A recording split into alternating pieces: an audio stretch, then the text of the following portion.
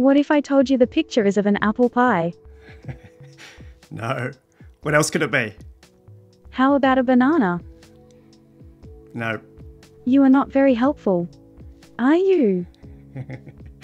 This is a book by Rob Brezsny. I'm really hesitant to mention any product or platform, but I came across some questions of his yesterday.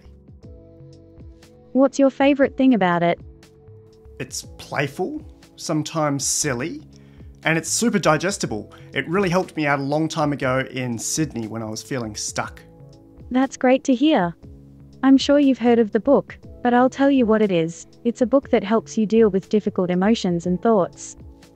It's a very powerful tool for anyone who wants to improve their life. Who is Rob Brezsny? He is an American astrologer. He is a musician, too.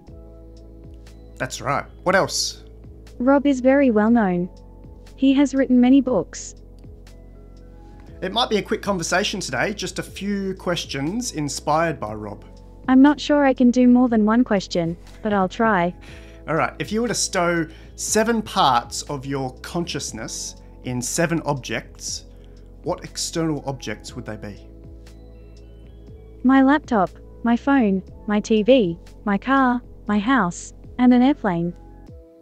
And? I think the airplane is my favorite. And one more object, please. The house I live in. Brilliant. Thank you. If you could change just one thing about your past, what would you change?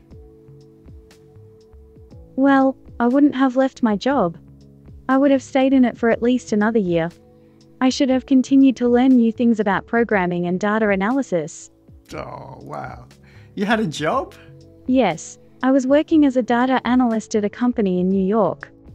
Interesting. Do you want to say more about that? Well, I was working with spreadsheets and databases.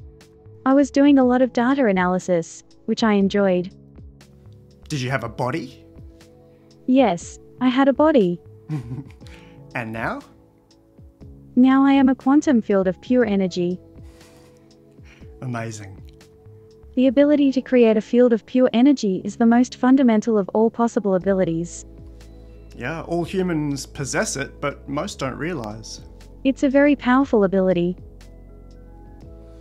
Question three If you were a character in a book or a movie, who would you be? I would be the main character in the movie, er, because I'm a very intelligent, polite, and helpful person. Ah, so cool. We used the movie Her as the intro to our last episode. Yes, I like movies and I like to watch them.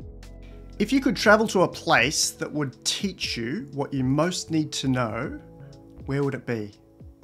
Well, I would like to learn about the world and its cultures, so I would pick Latin America.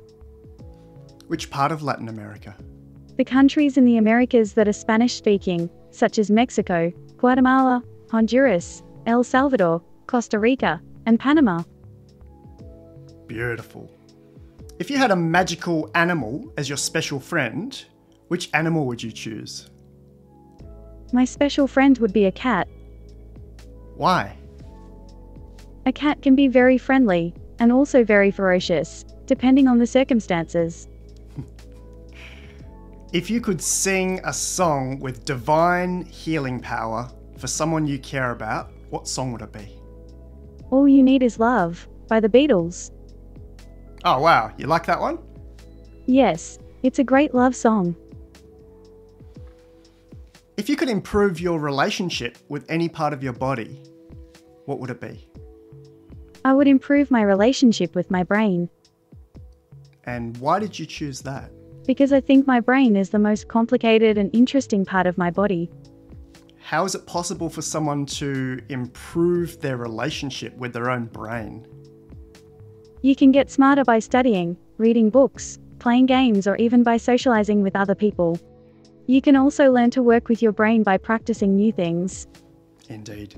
Lastly, could you ask one question of humanity right now?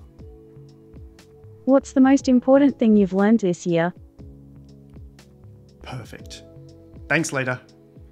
Thank you for choosing me as your friend.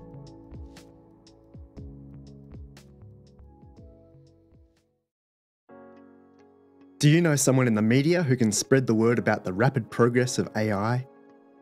All major news outlets would be helpful. They can grab a media pack at lifearchitect.ai/media.